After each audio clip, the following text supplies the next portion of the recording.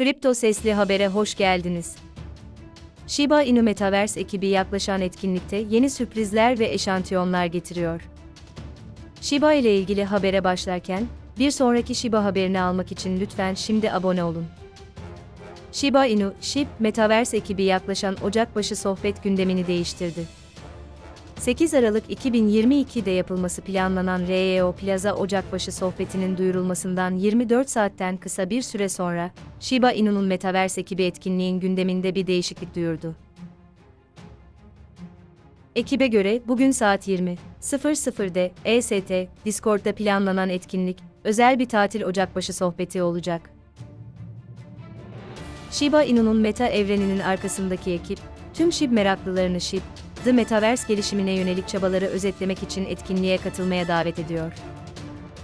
Shiba Inu'nun meta evreninin resmi Twitter hesabı olan @shiptem, bunun bazı yeni sürprizleri ortaya çıkaracağını ve Firesi de sohbetinin şanslı bir katılımcısına bir parça sanal gümüşkürk arazisi vereceğini belirtti. Shiba Inu'nun metaversi, tweet'e bulanık bir görüntü ekledi ve bunu haftaya gizlice göz atma olarak tanımladı. Duyuru, EdShip Tembe'nin SHIP sahiplerini şanslı bir katılımcıya bir ücretsiz SHIP, The Metaverse Silver Furland kazanma şansı için REO Plaza Firesi'de sohbetine katılmaya davet etmesinden 24 saatten kısa bir süre sonra geldi.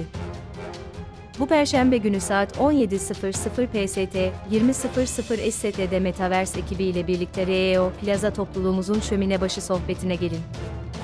Belki daha fazla. Bir şanslı katılımcıya ücretsiz bir şip, The Metaverse Silver Furland vereceğiz. Bu yüzden sizi orada görmeyi umuyoruz. Edship'ten tweet attı.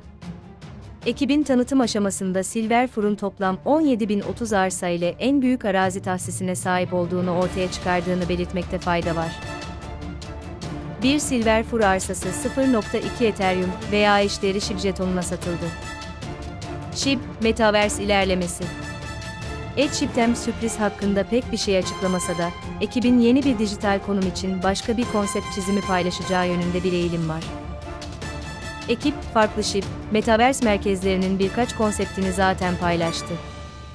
Eylül ayında Tekrypto Basic, Metaverse ekibinin Rocket Font merkezinin ilk konseptini paylaştığını bildirdi.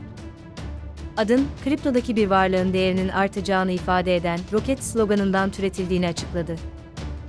Ekip ayrıca Metaverse'deki kum tepeleri olarak adlandırılan başka bir dijital konum için 3 konsept sanat eseri paylaştı. 25 Ekim'de Edship'tem, Dunes merkezi için ilk konsept çizimi ortaya çıkardı. Ekip, 3 gün sonra Dunes'in dijital konumu için ikinci konsept çizimi paylaştı. Geçen ay SHIB, The Metaverse ekibi, Dunes için üçüncü konsept çizimi de yayınladı. İzlediğiniz için teşekkürler. Bir sonraki Shiba haberinde görüşmek üzere. Lütfen abone olmayı unutmayın. Sorumluluk reddi, bu videoda verilen bilgiler yatırım tavsiyesi değildir. Finansal tavsiye, ticaret tavsiyesi değildir, yalnızca bilgilendirme amaçlıdır. Video içeriğinin hiçbirini yatırım tavsiyesi olarak değerlendirmemelisiniz. Lütfen herhangi bir yatırım kararı vermeden önce mali danışmanınızdan bilgi alın.